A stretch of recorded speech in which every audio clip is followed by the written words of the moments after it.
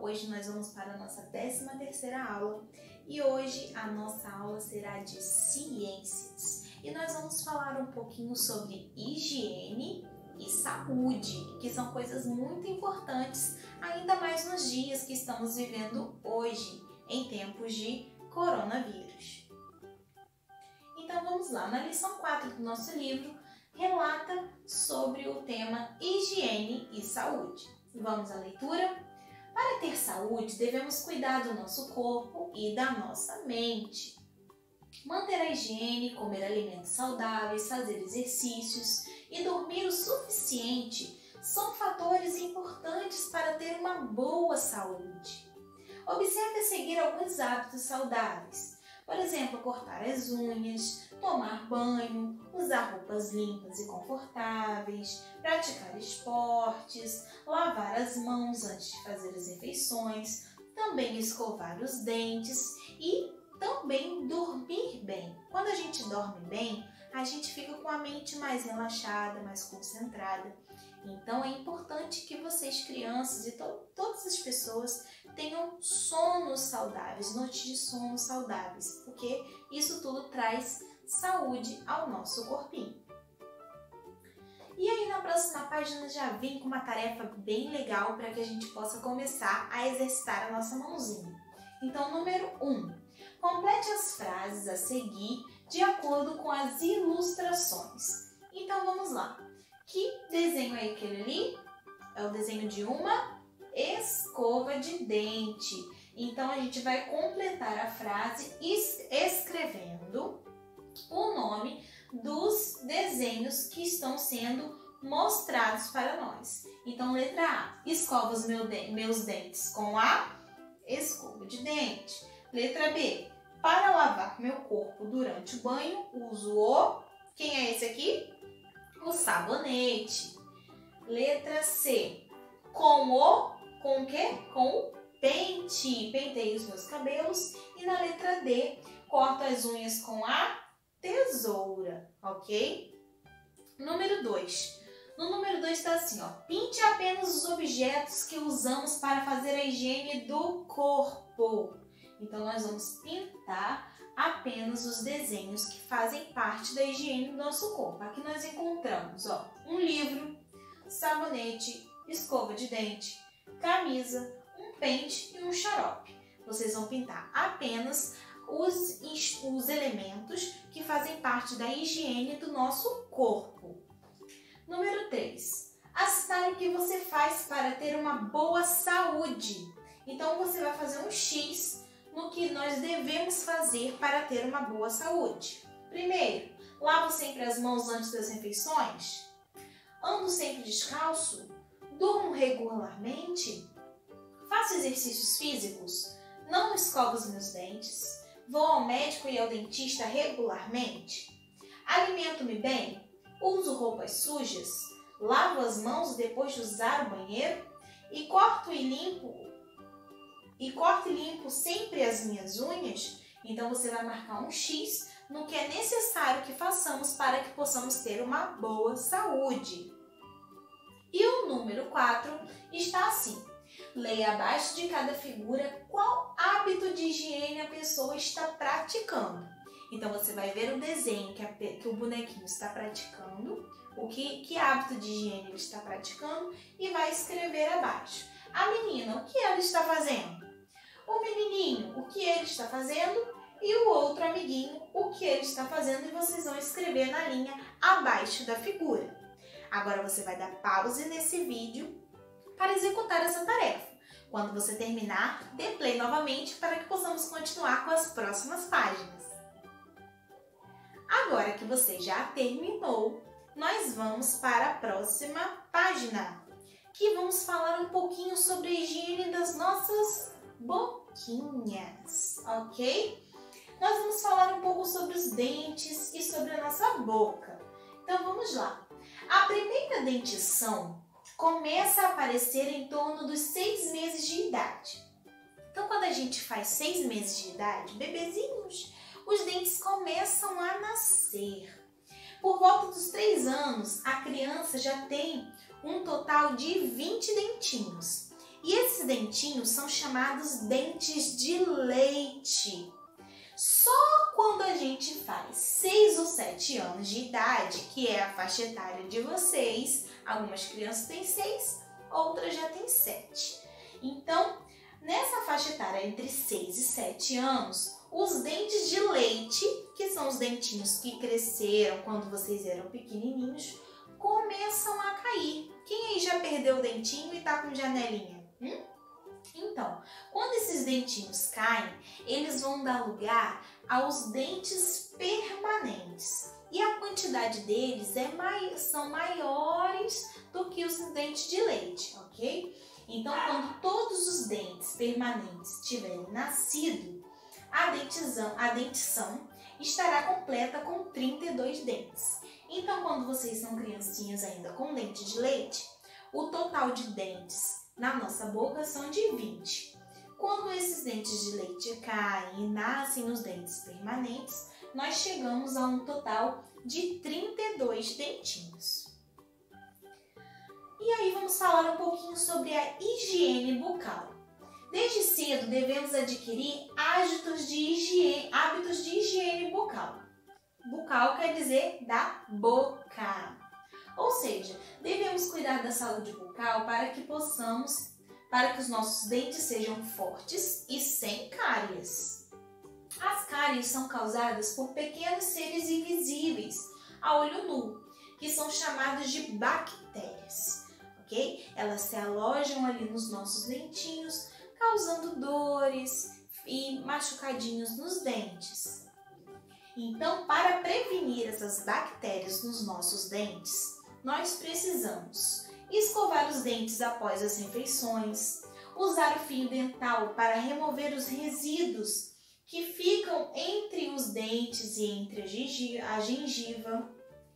Precisamos usar o creme dental com flúor, manter a boa alimentação, porque uma boa alimentação deixa os nossos dentes fortes e saudáveis também. Evitar alimentos que contêm muito açúcar, como biscoito recheado, é, que pela consistência pegajosa ela facilita a formação de bactérias, que são as cárias, ok? Porque o recheio do biscoitinho recheado, ele é muito remoso, então ela fica facilmente alojado nos cantinhos dos nossos dentes, ok? E comer doces com moderação e nunca entre as refeições. Então a gente precisa maneirar no doce para que possamos ter dentes saudáveis, ok, meus amores? Aqui tem um exemplo, tem um recadinho sobre as cáries. As cáries são buraquinhos ou pontinhos pretos que se formam nos dentes, indicando que estão sendo corroídos. Então, se você já tem algum indício de alguma pintinha preta, algum buraquinho no dente, fale com seu papai, fale com sua mamãe para que possamos ter mais cuidado com os nossos dentinhos. Vamos então para o nosso exercício.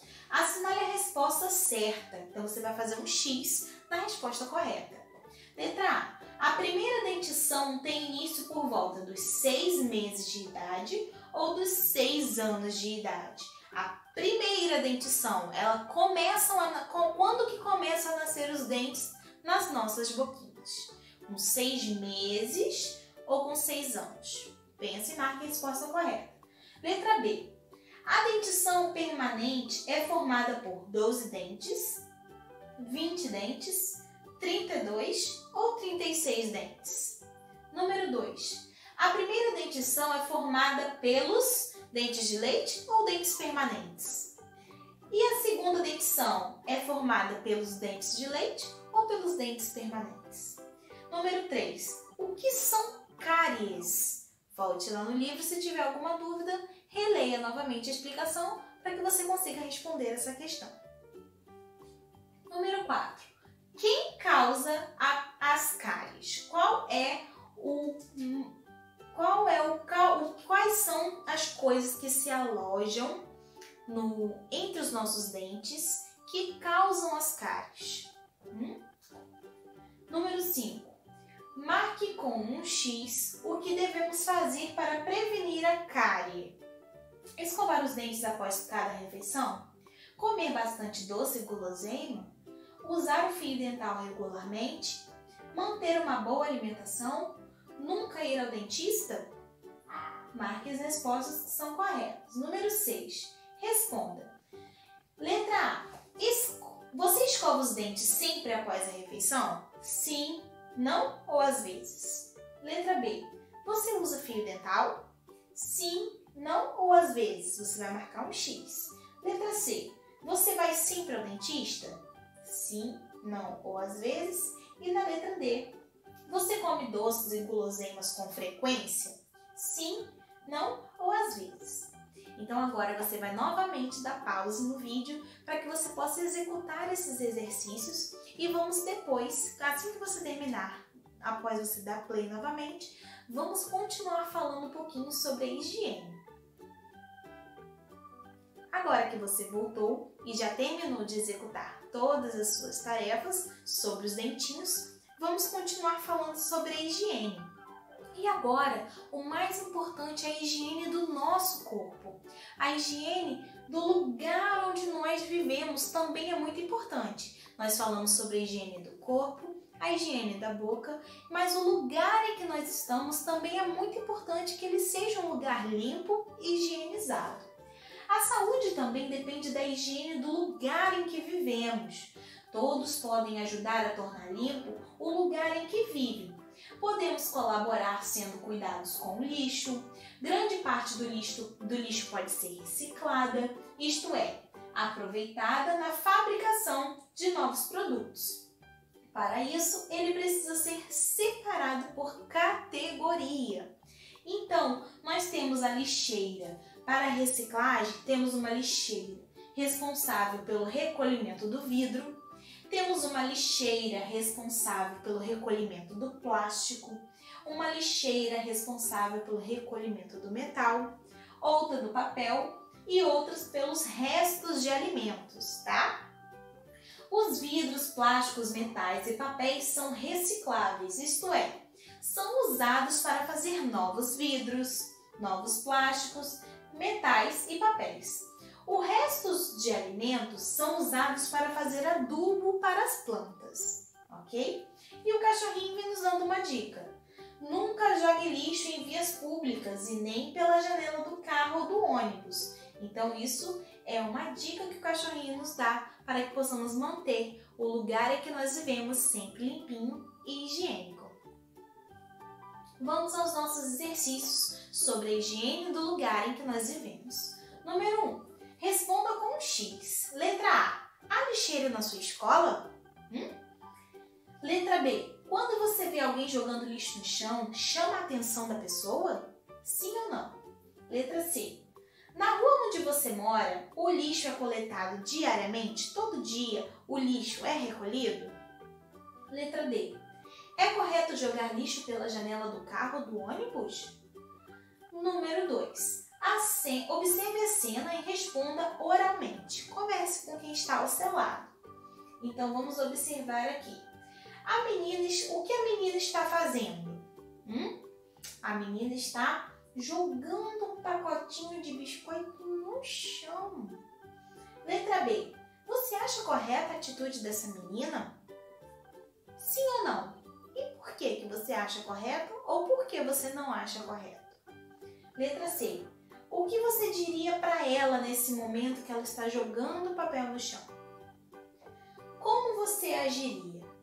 Então, converse com o seu responsável ao lado para que você possa dialogar sobre essa cena que está sendo observada. Vamos para a questão de número 3, ok?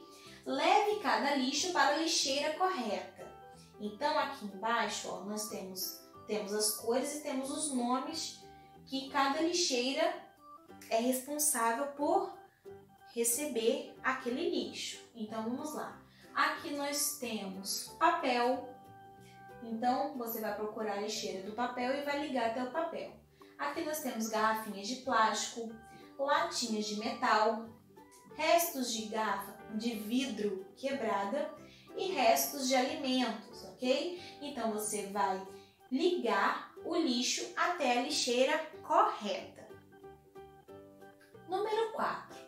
Leia e pinte as cenas corretas em relação ao lixo.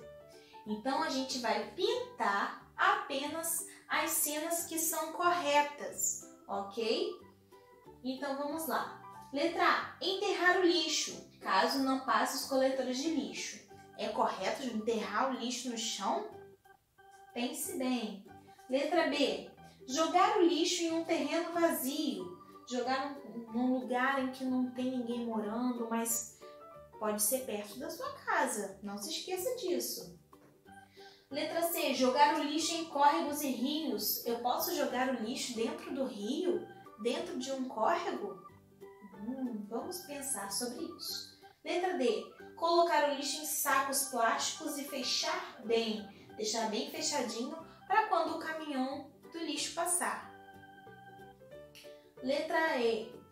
Jogar o lixo com as mãos. A gente pode pe pegar o lixo com as mãos. A gente deve pegar o lixo com as mãos? Isso é higiênico? E a letra F. Colocar fogo no lixo. Isso é legal colocar fogo no lixo? Nós devemos fazer isso? Então você vai observar as opções a seguir e vai pintar apenas as cenas corretas relacionadas ao lixo. Caso você tenha alguma dúvida, pesquise no Google para que você tenha uma certeza e pinte com muito capricho a sua tarefa. Agora que nós terminamos sobre a higiene e a saúde, você vai terminar de executar as suas, as suas atividades e em seguida coloque na plataforma do Google Classroom para que a Julia possa corrigir com muito carinho cada tarefa que você fez hoje. Tá ok? Um beijinho e até a próxima aula!